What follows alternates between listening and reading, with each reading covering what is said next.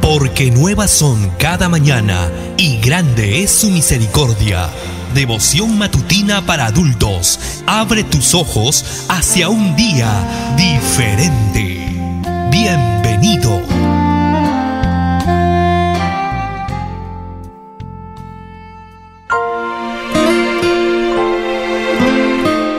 Si retiras tu pie de pisotear el sábado, de hacer tu voluntad en mi día santo, y si el sábado llamas delicia, santo, glorioso del Señor, y lo veneras no siguiendo tus caminos, ni buscando tu voluntad, ni hablando palabras vanas, entonces te deleitarás en el Señor, y yo te haré subir sobre las alturas de la tierra, y te sustentaré con la herencia de Jacob tu padre.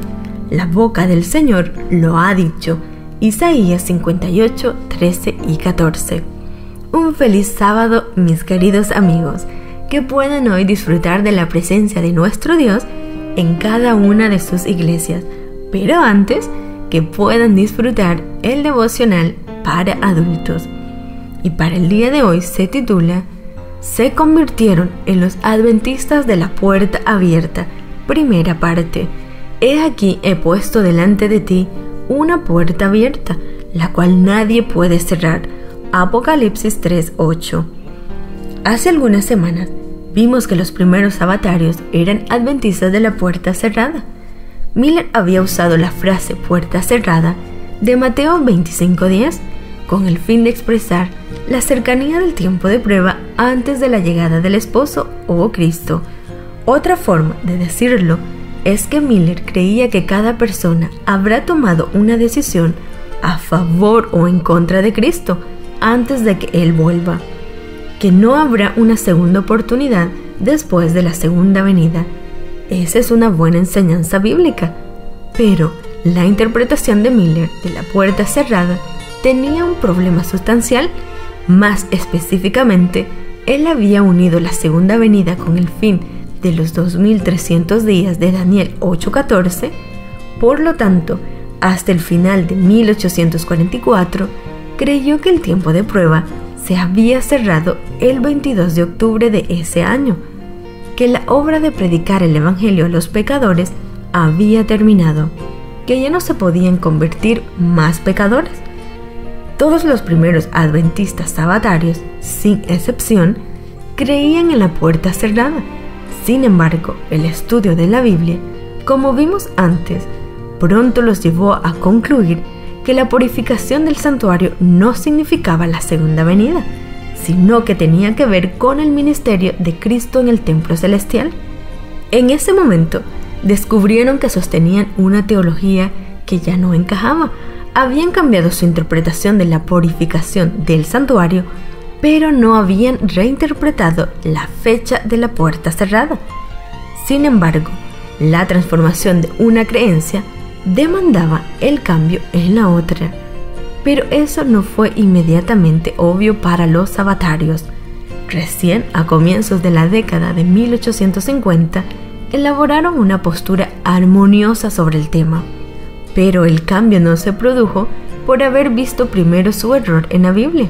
Al contrario, enfrentaron otro problema que no desaparecía. Les gustase o no, seguían teniendo conversos a su mensaje que no habían pasado por la experiencia milerita.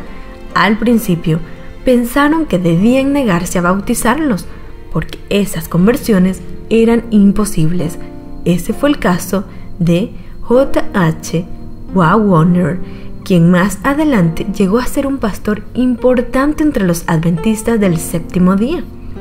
Fue en realidad de los nuevos conversos que no deberían haber sido lo que hizo volver a los sabatarios a la Biblia para estudiar nuevamente el tema. Para fines de 1851 o comienzos de 1852 se habían dado cuenta de su error.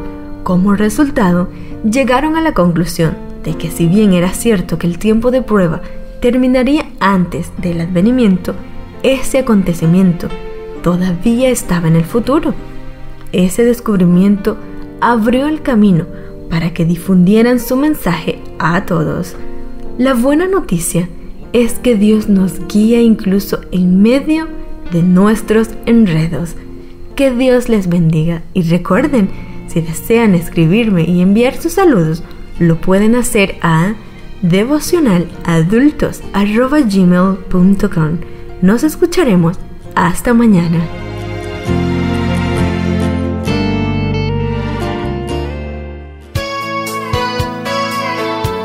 Gracias por permitirnos ingresar a tu hogar, tu auto, oficina o trabajo.